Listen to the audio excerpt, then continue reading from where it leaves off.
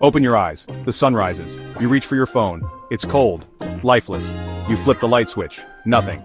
A wave of unease washes over you. Your morning newsfeed is gone. Your social connections are silent. The internet, the sprawling digital landscape we navigate daily has vanished, erased.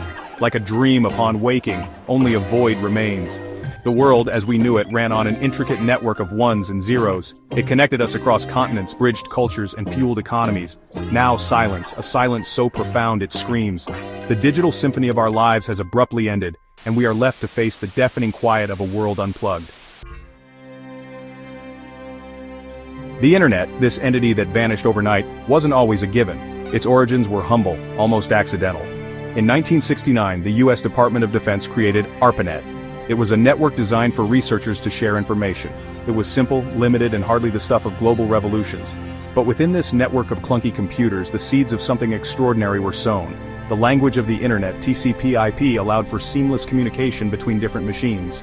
This innovation, a digital handshake across distances, would prove to be the internet's most potent weapon. In the 1990s, the World Wide Web, a user-friendly interface to the internet, was born. With it came email, websites, and eventually, the social media platforms that would redefine human interaction. We became citizens of a new digital world, sharing our lives, our thoughts, our aspirations through the glow of our screens. The internet's tendrils reached into every aspect of modern life. Banking became online.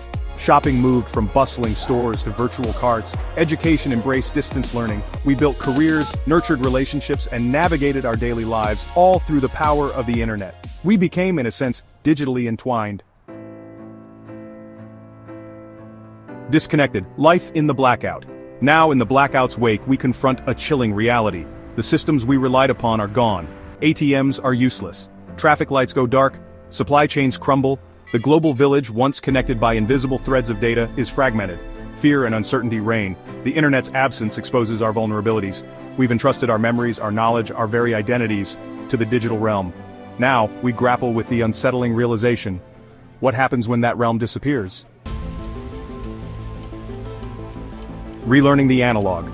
Yet, amidst the chaos, glimmers of hope emerge. We dust off old maps, rediscover the lost art of conversation, and find solace in the warmth of face-to-face -face interactions. Communities rally, sharing resources, and rediscovering the power of human connection.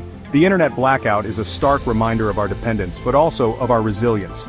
It compels us to reevaluate our relationship with the digital world, to recognize its power but also its fragility, to build safeguards, to diversify, to ensure that our digital reliance doesn't come at the cost of our analog strength.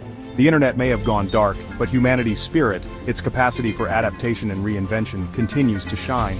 We are reminded in the absence of the digital of the enduring power of the human connection, and that perhaps is the most profound lesson of all.